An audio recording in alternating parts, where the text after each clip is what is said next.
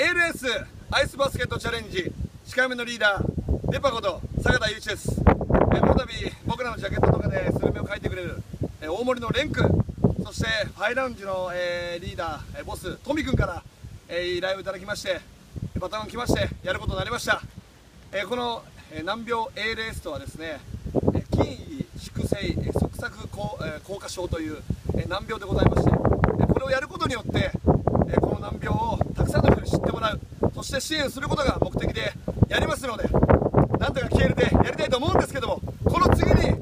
やってもらう3人はシエスタ上沢千尋そして名古屋グランパスゴールキーパー高木義成選手そして決命士の田中亮さん。よろしくお願いします。よし行くぞ